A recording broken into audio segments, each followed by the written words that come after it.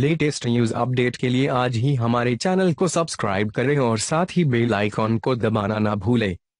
आप किसी भी ट्रेन का नंबर देखकर ही उसके बारे में काफ़ी डिटेल हासिल कर सकते हैं। हर ट्रेन के नंबर में इम्पोर्टेंट इंफॉर्मेशन छुपी होती है। ट्रेन के नंबर की हर डिजिट का कुछ मीनिंग होता है।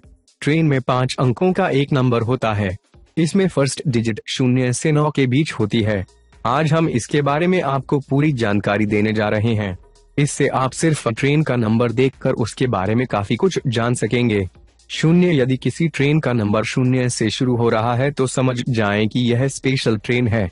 जैसे समर स्पेशल या हॉलिडे में ट्रेनें चलाई जाती हैं, वे इस कैटेगरी में आती हैं। एक लॉन्ग डिस्टेंस पर चलने वाली ट्रेनों का नंबर एक से शुरू होता है।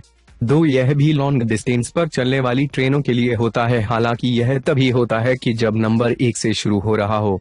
तीन यह नंबर कोलकाता सबंध की ट्रेनों के लिए होता है। चार यह नंबर चेन्नई, नई दिल्ली, सिकंदराबाद और दूसरी मेट्रो सिटीज़ के बारे में बताता है। पाँच पैसेंजर ट्रेन में कन्वेंशनल कोच है तो यह नंबर होता है। छह मेमो ट्रेन का नंबर छह से शुरू होता है।